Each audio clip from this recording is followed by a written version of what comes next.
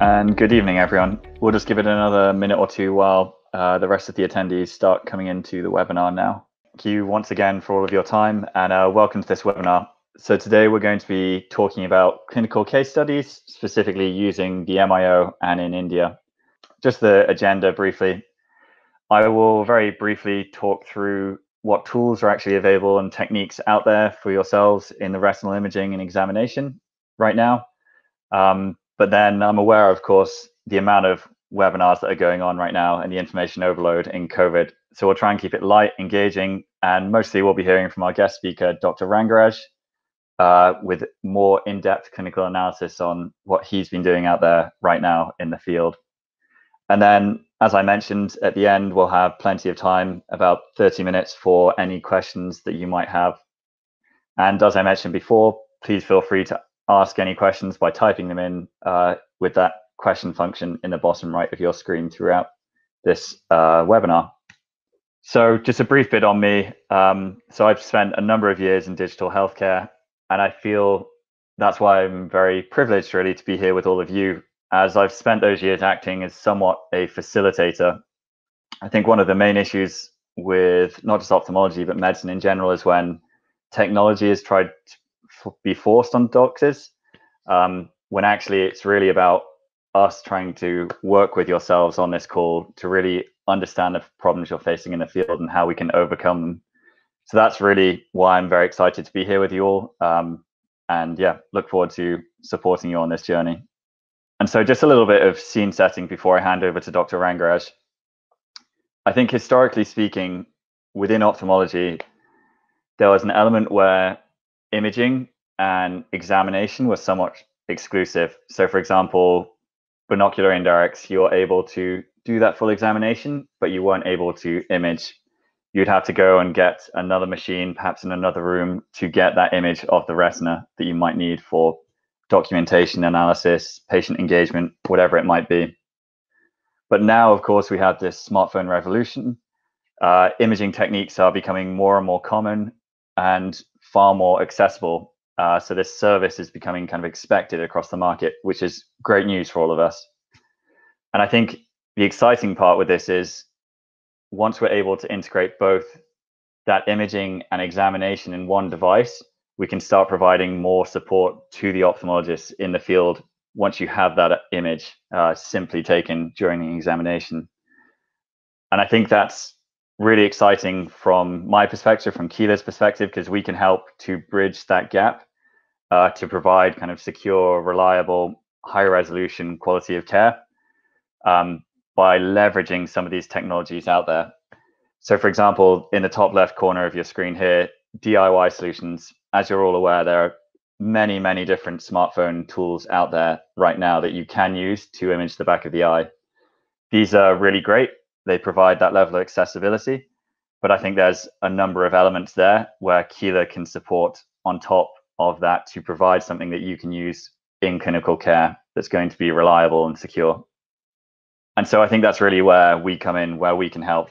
What we're doing right now is effectively trying to simplify that ophthalmoscopy technique that we have so much expertise in to be able to automatically and simply extract those fundus images, that information from the examinations you're doing with an indirect ophthalmoscopy technique but using a smartphone embedded within that headset. Uh, this is great in many reasons because it saves time and reduces that need for multiple equipment while still keeping that hands-free, uh, wide field of view examination. Of course, this isn't stereoscopic, but in terms of providing that base level of care, um, it provides ample um, the ample requirements that you will need in the field. And above all, I think it's highly affordable and enables support on the training front, which is really exciting for us to work out how we can further support you in the field. And so that's that's all from me really. Um, so I think I would love to introduce you all to Dr. Rangaraj now, who is on the call and will talk through some of his clinical case studies that we've been supporting over the last few months uh, using this device, the MIO. So I'll start my lecture with this very simple introduction. Now, MIO Keeler is mobile indirect ophthalmoscopy. We have been doing uh, indirect ophthalmoscopy for a long time. and we have seen it evolve in the wards and we have even i have even used monocular indirect ophthalmoscopy the basic principle you just have a condensing lens and a kind of paraxial illumination not only you even the person standing next to you can see the fundus so we've been doing this in the ward rounds and things like that. But that's not going to carry much weight today. In the bare minimum you probably have a, a lens which is 20 diopter and maybe a small led light and you can see the image. Like uh, sam was saying yeah you can see the image. And okay next you want to capture the image you go to step two you just put in an iphone you have a small led light and you have a camera which is basically para-axial so when you have para-axial uh, camera and a uh, led light you are able to see that very well you're able to see that very well so you should be able to record pictures which probably look like this so this is with a 20 diopter lens. This is just with a plain Jane um, uh, iPhone and with a 20 diopter lens. You can do this. But the problem is that when you want to display this to your patient, you're going to have all your personal pictures in these areas. And I've deliberately put this picture here just to show that it will be quite embarrassing. You've done a good job, but it's not a professional presentation to your patient. We do this every day. The patient only sees you once or twice maybe and has such a procedure done on them and there is no way you can archive it search and secure storage so you lose your phone you lose your images now the problem is if you have an iphone or an android phone it's very difficult for you to search the image and you really don't know what that id of that particular picture was so here is where the mio comes in now you have a combination of headset and a mobile phone. Now, what does this offer? It gives you a disk and macular photography. It gives you also the peripheral retina. See, the disk and macula, you can use a fundus camera. I do have a fundus camera, but I find it difficult to look at the ora and maybe, you know, take a picture. That becomes difficult. And this is where this comes in and plays a role for me. You can not only take the disk and macula photography, you can also take the peripheral photography. And you have a dedicated software app which gets updated. So you not only benefit from uh, a professional approach, you also have an updated version on your phone, as long as that particular phone supports it. it's very cost effective image capture system because, and I also find the best part is when you have a headband and it is fixed on the headset, your hands are free to do a scleral indentation. And you can capture the image and you can process the image. What I mean by process, I will tell you in the couple of slides which are yet to come. So the hardware part of it is just the iPhone and the headset and it has a small little magnet here. Now with this magnet, you can put the phone either in landscape mode or you can, one moment, or, or you can put it in the vertical mode which is the portrait mode i find this very easy because alignment is more easier because it's the natural uh, thing which you do it not kind of sideways. And then we come to the software. So there has to be something special in what you do and it has to be dedicated software. So this is the main screen. It allows you to put new patients. You have a patient list and then of course you have the home screen then you have the review then you can search your patients. You can search your patients and you can uh, set your login and your password and things like that with the settings. Now the new listing is in which you have the first name, last name, date of birth. Additionally, some more fields are going to come in which the hospital ID will also come. So it helps you to identify the patient because we have similar sounding patients, same name patients, things like that, even with the date of birth. So if you have an ID, that makes it more easier. So all this, all this comes when you have that. Now, when you start to examine the patient, you go to the next screen. So you have entered all the demographic details and you go to the start of exam. So when you go to the start of exam, it brings you to the next screen. The next screen tells you which eye you're going to select and which condensing lens you're going to take. Now, why this condensing lens? I'll tell you, that's where the unique function of all these uh, dedicated software app comes in. Now, when you look at 15 diopter and 20 diopter, you're going to get a little more magnification. You use a 15 diopter if you want to see something more closely and it gives you a little more working distance. Then you have the 20 and 28, which gives you the normal field of view, which we normally are used to in, in, in an indirect. And you want a little wider field. For example, you have a neonate or you have somebody who is restless. You can easily use these 30 diopter lens or 40 diopter lens, substitute that, you get a wide, you get a wider field, and you can also see the pathology and understand how the um, actual pathology, retinal pathology is. Apart from the posterior pole. You can also see the uh, almost up to the equator. When you have 69 you can swing it around. And that's the advantage. So it gives you a means to select this and accordingly capture the image. And then you go once you have done that selection you go to the next and then you start to record the examination you have a familiar red button these are very intuitive in fact i don't even have a manual for this it's extremely intuitive and once you do that it starts to record and when it starts to record, this is how it looks. But this is not the image you're going to get. What happens is, once you finish the exam, it starts to auto extract these images. It's taking a little time now, but Sam has promised that it should be, it will be faster. So once it auto extracts, this is how your image will look. Now this is an image which I have taken and inserted. So that's why this clipping comes, but these are all auto images. You'll find that you get this blackened screen and it's extremely professional looking. And this is how it will look. And then you also have a means to annotate what you see. Say, for example, you want to show the optic disc, it's there. Or you want to show a splinter hemorrhage, you want to show some myelinated nerve fibers, you want to show that there is NPDR in this patient. And you can explain this to the patient. You can show them and this can be archived. And then the next step is it synchronizes automatically into the cloud and the storage is automatic. So you lose your phone, you're not going to lose this. All you need, or if you have forgotten your phone one day, all you need to do is to just log into another phone and you come back to your patients and your list. So that's the advantage of this software. So the software is designed to extract fundus image from an examination video. What looks like this will look like this. The image is saved for documentation, post-capture processing and manipulation. When we say post-capture processing, there are many things we can do with a JPEG image today. We can run many of the programs like an auto mosaic or we can do it manually and all these things are possible. And like Sam was saying, this is a very exciting time to be in this field, capture the image and manipulate it and then you also have wide field stitching of the images. I will show you how that looks like. And your data, image data is so is stored in cloud securely and is available for transfer. Now, that brings us to the question of how we are going to use it. Let me give you a simple example.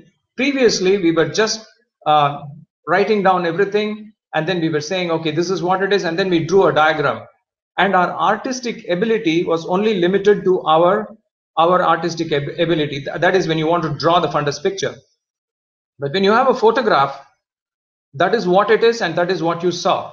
So i prefer to document all dilated fundus exam in my clinic. So i have a permanent record of every patient who came in. So if somebody if if this ABC patient came to me and then went to another patient and then called me back and said, Doc, there was a hemorrhage which the other doctor found out. I can say, look, I have the photograph here and you did not have it on that day. So it is that clear. So documentation is going to help us not only for us legally, it also gives you a satisfaction to explain to the patient and share it with the patient. And the MIO is cost effective in all stages of your practice, which means that you're a newbie who has just finished the fellowship and you have come out or you're five years into practice or a 10 year into practice. This is the time banks will not give you loans and that's the time nobody will come and see you. But Sam promises that you are the guys they are going to see. The reason is that you can capture the image which was not possible when we started. There were only those expensive Zeiss cameras. That too, you had to process the film. That was extremely difficult. This is in an instant. I get the images immediately. and it is portable. So you become a little senior and people are calling you to multiple clinics. You, this is portable and you can go to all the all the clinics and consult and you have a record of the images you have seen and the diagnosis which you have made.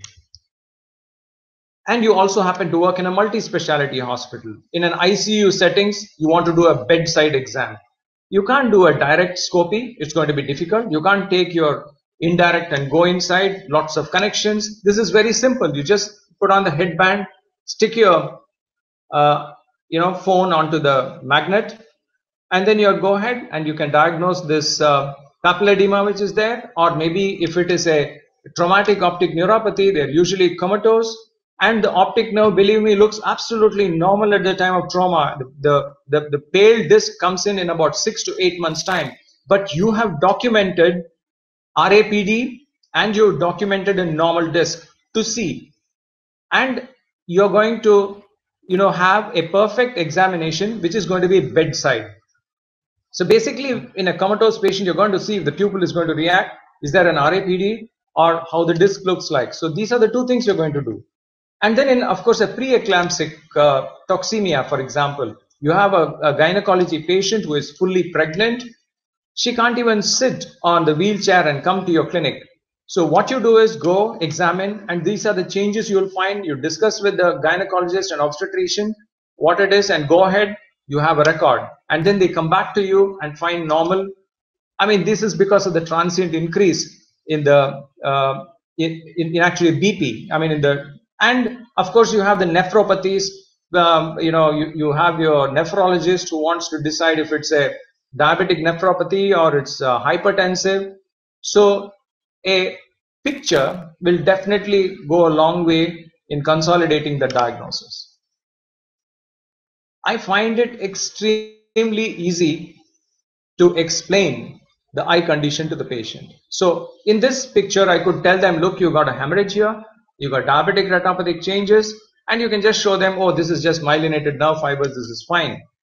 Or like this particular patient, he had a cataract.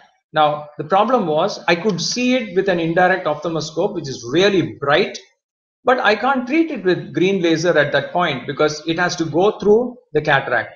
So what do I do? This picture is on the second day post-operative. Do the laser on the second day. And this is the operculum, this, this particular shadow, and this is where the hole is you can see that very clearly. You can see the shadow here. This is the shadow of the operculum, and this is where the tear is, and this is a little bit of fluid. There's, there was some more fluid here. When you indent, you can see that. And of course, you will have this kind of a patient. They will usually be the last patient of the day. It will be about 6:37 when you want to go home, and this is when it will come. And imagine you have to to treat this horseshoe tear, which is a HST, and you know that you need to treat this patient and you know as a doctor that it's dangerous for this patient to be walking around with this kind of a tear. They have come with you with all the classical symptoms of flashes floaters and everything. Maybe there's a little bit of bleed. This patient had a little bit of bleed because there's a blood vessel here. And you know small whiffs he was saying i could see cobwebs red in color. And they will usually be the last patient so here comes a situation where all your experience and expertise you want to explain to the patient that he can't really go out of the clinic before you treat. Now, kingdom come, you cannot really explain this. You'll have to speak maybe 10,000 words. But if you have a picture, you show them this and you go ahead and do this and send them home. See, there is satisfaction in the service you're provided. You're not exerted yourself. You have professionally talked very little and you have done the job and sent the patient. The service quality is extremely satisfying at that point. And then, of course, you have a patient with a papillitis like this. Explain it to them. Look, this is what it is. You need to start the steroids. You need to do this. You need to do that. So, if you have a picture, you don't really need to talk much about it. All you need to show is show them the picture, show them the condition they have, and it makes it very easy. So, I find that this is an extremely cost effective image capture device at all stages of your practice. And then you have a patient who has undergone laser already. Uh, they have gone through uh, angiography. You've done one more check angiography in about three months' time. And what happens is that you find there are still some amount of capillary dropout zones and you want to treat it. So you tell the patient that I need to fill this these up. So when you're doing a fill-in laser, finish the fill-in laser, show them the old scars and show them the new ones. So they know exactly what it is what is happening. So you show them the angiography and you show them this is the two blood vessels between which I have done the treatment. So it's extremely satisfying to explain to the patient and more professional. And now comes the retinopathy of prematurity. I've been doing this for a long time. And screening of premature neonates is very important because ROP incidence is a surrogate for the quality of care in a neonatal unit. In fact, that hospital has done at least two DNB students who had their dissertations on this, and they did successfully pass. And one of them is a uh, is a neurologist today. Image documentation helps in meticulous follow-up and surveillance until 40 weeks for at-risk babies. So we are going to see the at-risk babies, and we are going to see babies who need even more close follow-up, and you're taking a photograph each time and that really helps you to closely follow up. Now, if you didn't have a photograph, it's very difficult. You drew diagrams. Yeah, we have diagrams. We can say zone one, two, three, and you know, this many clock hours. It doesn't make sense when it comes to counseling the parents. And they don't understand why they have to come and see you. It's good enough that they have to come and see the neonatologist every two weeks. They have to bring that small little baby weighing from maybe 600 grams to about maybe 1500 grams. They're extremely light. And it is very easy for you to explain the intervention when it is indicated. For example you have a picture like this. You know exactly that this is the area you're following up. You have like a stage 2 maybe not reached threshold but you find small little blood vessels here. Then you know okay what it is you can you can explain to the patients. They understand you can stitch these images. Get a wider field. You can see these ischemic zones here. Again ischemic zone in the other eye. So it makes it extremely easy to counsel the patient and intervene at the right time when it is indicated so in summary the the mobile indirect ophthalmoscopy is a cost-effective platform for image capture cloud storage and archiving. And it's an excellent tool for peripheral retinal image capture in all age groups. Believe me, you want to capture the peripheral um, uh, retina, it's extremely expensive. Like uh, Sam was showing you that slide in which it becomes extremely expensive and you need special lenses. This is one way to actually image the periphery from neonates to adults. Thank you very much. And ophthalmoscopy has come a long way from 1920. And this is how they used ophthalmoscopy at the time. This had to reflect sunlight. And this is the Rekoss wheel. Of course, the handle is not working. And this is how it was in 1920. Thank you very much. I would like to answer the questions. There are any.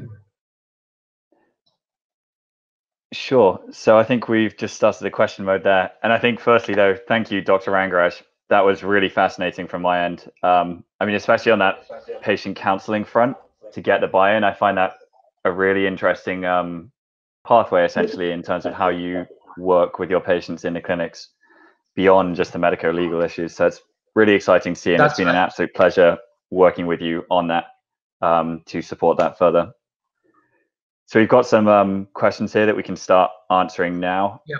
Um, so in terms of what phones this works with, uh, right now, the application we have is made for iOS, so Apple phones um, from iPhone 6 and up.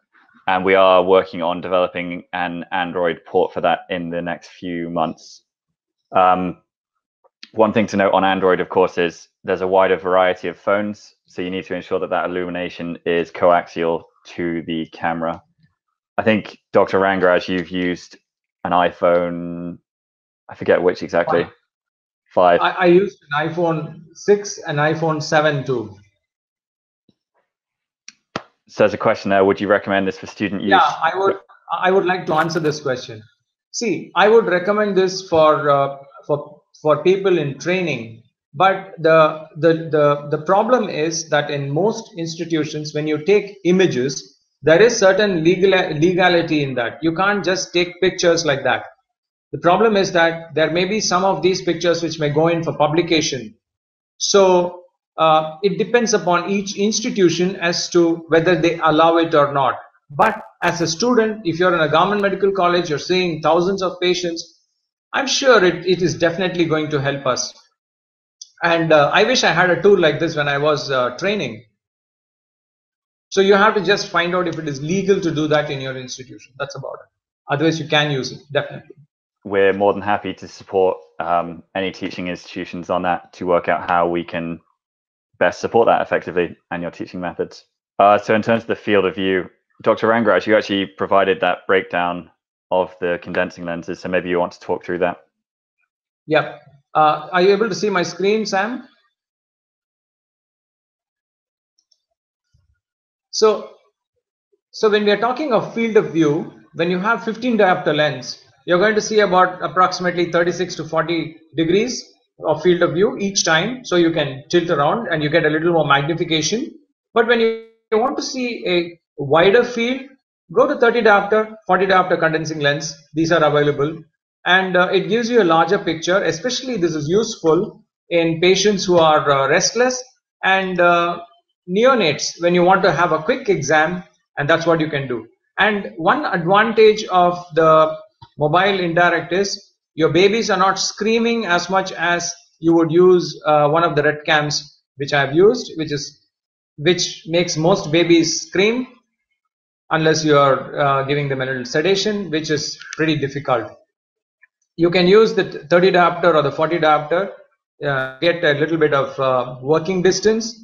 So you can actually see up to the periphery. So it depends upon how you manage. It's just like an indirect ophthalmoscope. So, you know, you can scleral indent, you can see the ora, you can see everything. So it's basically like you can see 360 degrees of the of the retina. In fact, all those pictures are from my clinic. Excellent. So the next question, how this helps in ROP screening. Yes, I, I had dwelt on uh, some of those slides. Um, in fact, like I said, that that is probably one of the most important applications you can have. Uh, screening premature neonates, and uh, most of the neonatal units would want their ophthalmologist to do the screening because it is a surrogate for the quality of care in the neonatal unit.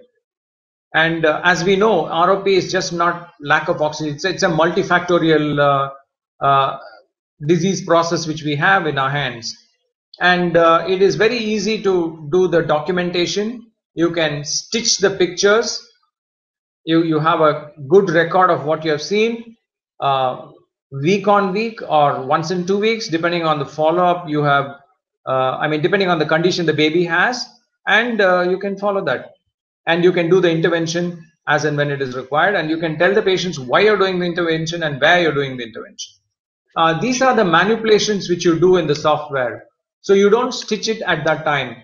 So I'm sure Sam should be able to, uh, I mean, tell us a little more because this software is uh, a little buggy. Probably, I mean, they are they are trying to get it into the um, uh, the app, and once it comes into the app, we should be able to do that. This is like when you use a fundus camera and you have the auto mosaic, so it automatically stitches because of the uh, landmarks which you have here.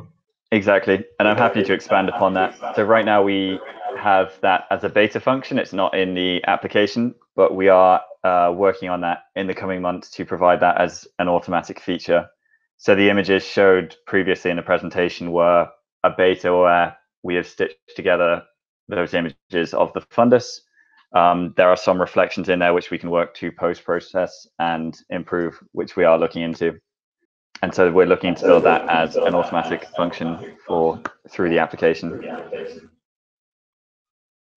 In fact, I would say that this is a device which you can use at all age groups, either adults or uh, you know neonates.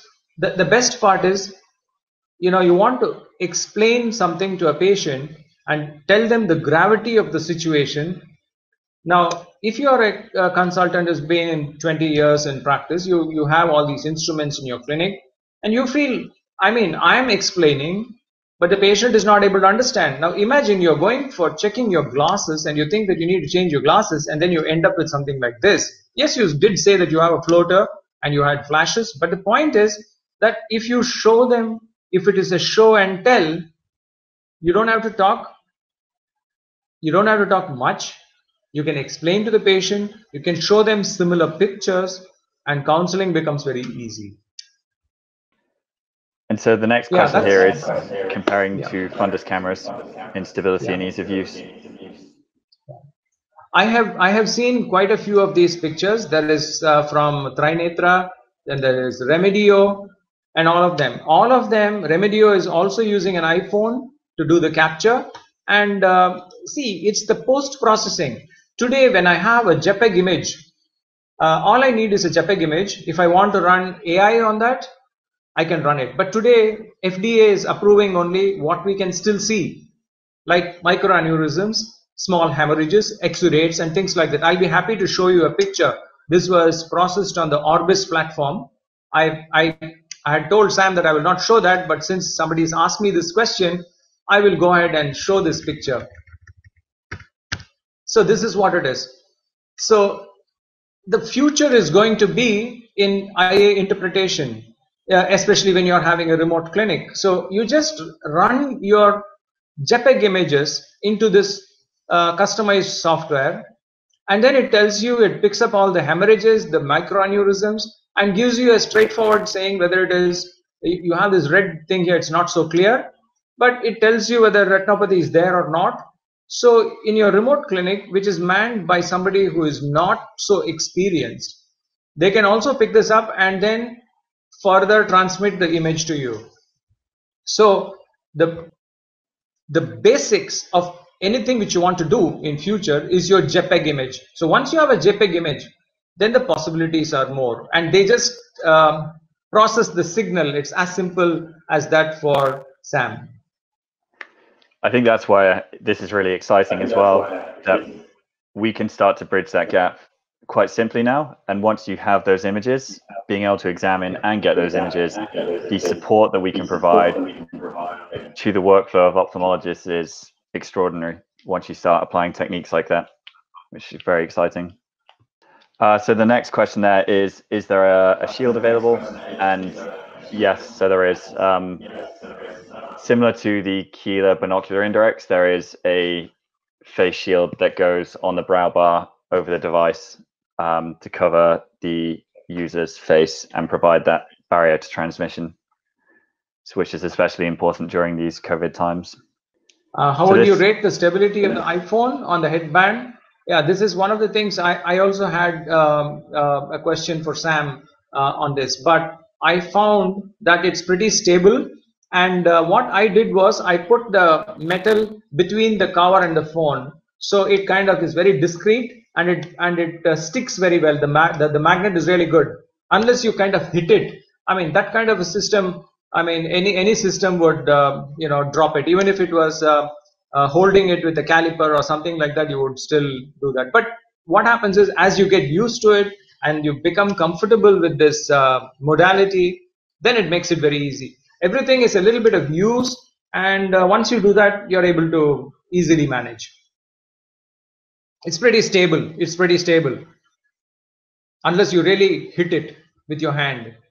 And so the follow-on question, actually similar line of thinking is, do you have to change your technique um, when using the MIO compared to a normal binocular indirect ophthalmoscope?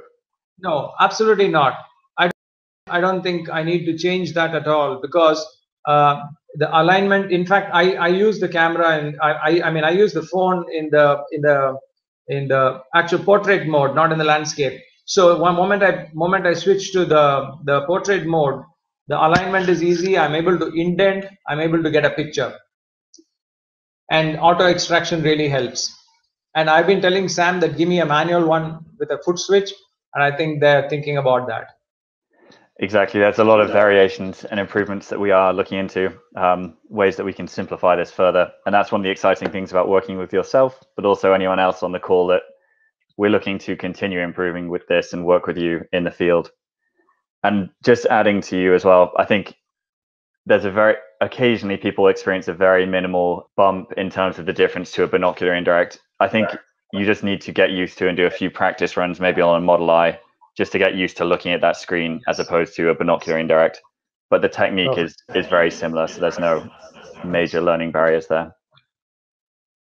And what I would suggest is whatever be your uh, uh, your uh, experience, I mean whatever be your experience, use a model eye. I have a model eye all the time in my in my clinic. I use the model eye. I hone my techniques.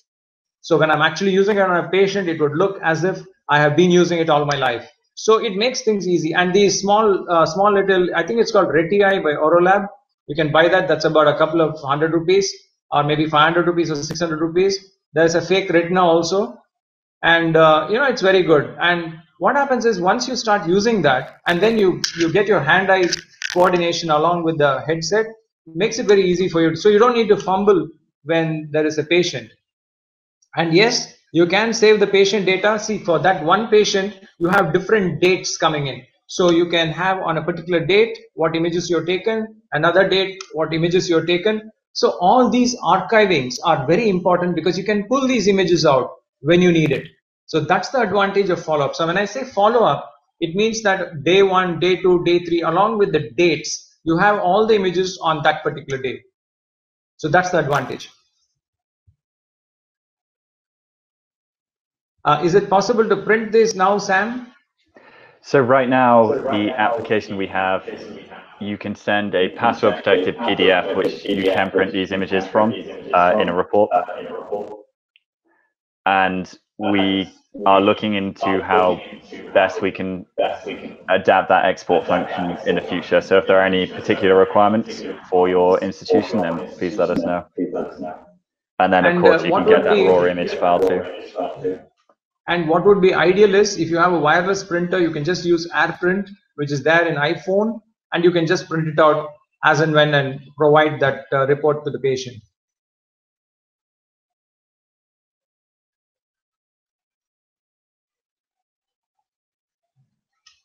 Sam, when can I get this? Uh, so you can get this now. So we are in a position now where we can ship this product. Um, yeah, so right now. Yeah. and we're excited to get that out to India.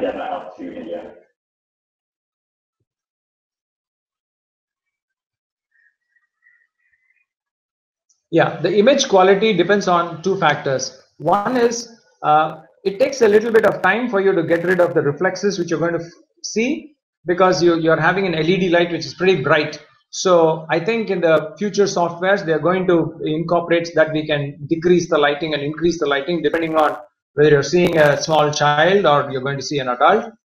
Adults can tolerate a little more of uh, the LED illumination. LED illuminations are pretty bright. So they you can do that. And once you start to get the hang of it, it's like the first time when you did the indirect ophthalmoscope, you were seeing only reflex. You never saw the retina. So the same thing happens. There is a small learning curve. It's like multifocals or maybe a reading glass or anything as a matter of fact has a little bit of learning curve and believe me you can reduce the the the, the learning curve if you have a model eye so the model eye definitely helps you in doing that and i think it is best to use a model eye and you can get this from Aurolab and it's very cheap and it can be used the image quality is good and uh, in fact, the pictures which I showed you is from are actual pictures from the MIO. And as the phones get more sophisticated, we are going to get even better um, images because the sensors are going to be much better. So there is one part to this whole thing. As the phone gets more sophisticated, the apps can be easily upgraded to that. So the advantage is that you have your patients, you have your images, and you are kind of upgrading with it automatically. So the price what you pay for is because the upgrades are going to occur.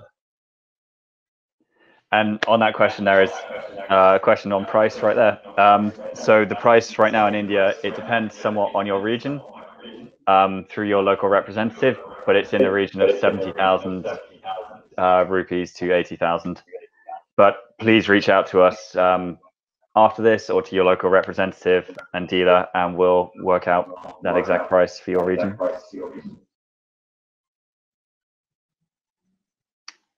And that includes the hardware, so the headset, as well as the software, the application.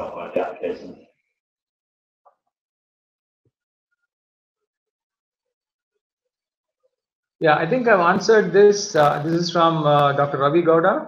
Uh, how do you rate? Uh, how do you rate with repeatability of the image with the same patient taken at different time? Um, it depends on how you take it. You have a well dilated uh, pupil, and uh, you know you are conversant with the machine. Then I think it should be very easy, and you'll you'll get almost the same kind of an image. It, it takes a little practice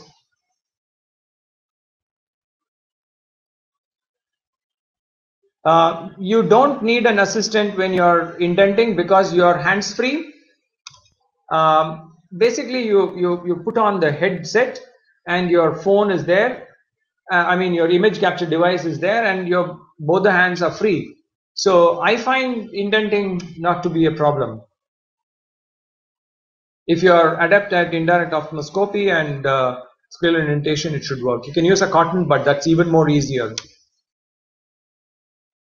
Uh, baby will cooperate with the flash from the iPhone. Yeah, they will because I do use a LED indirect.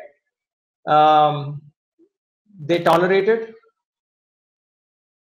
And you're looking at the peripheral retina. Start with the periphery first and then come to the center. Usually they get adapted by the time. And uh, even this lighting, I, I think they're going to incorporate something in the software by which you can control the amount of lighting which is coming in. Exactly. I was about to say that.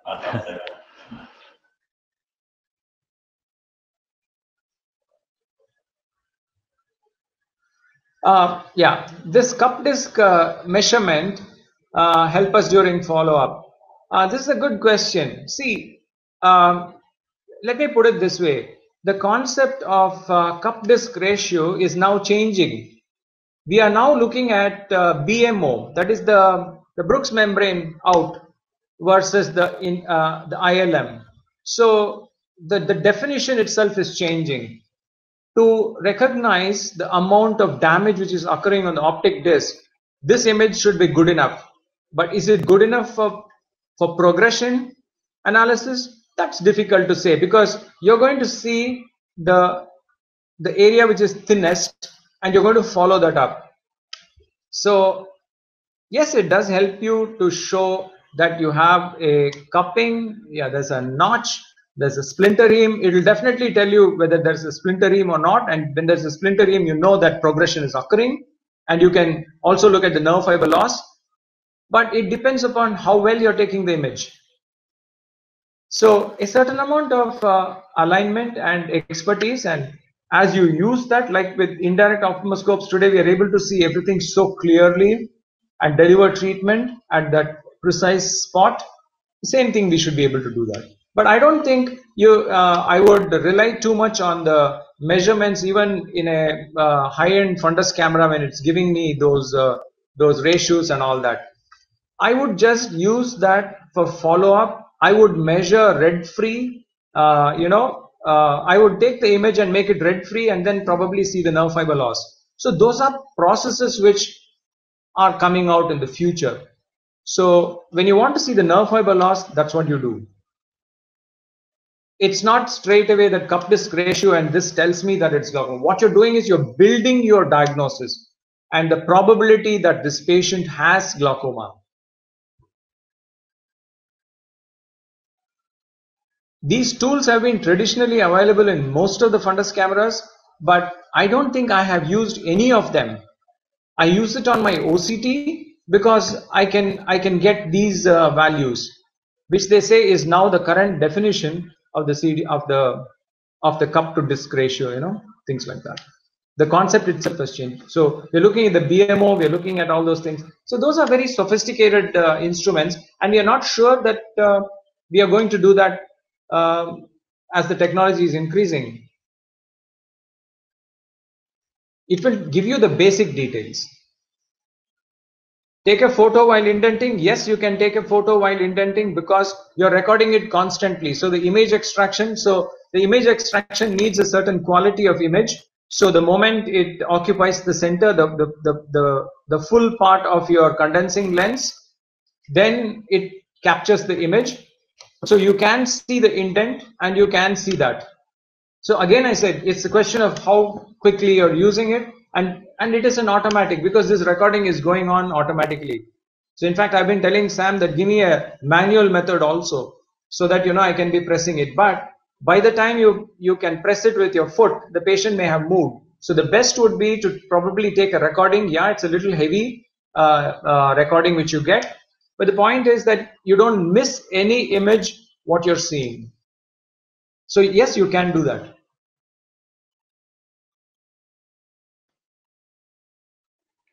Excellent stuff. So I think that seems to be all of the questions that we have for now.